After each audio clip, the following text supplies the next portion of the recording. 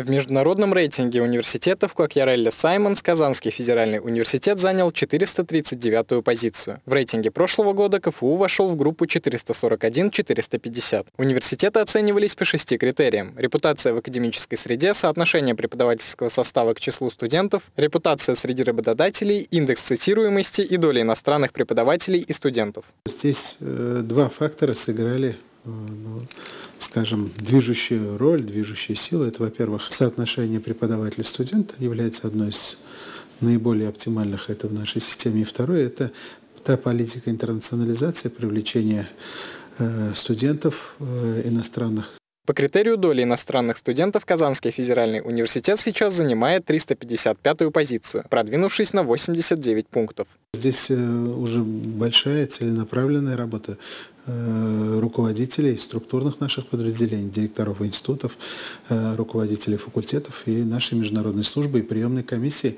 которая ну, практически еженедельно объезжает все наши перспективные страны с точки зрения рынка наших абитуриентов.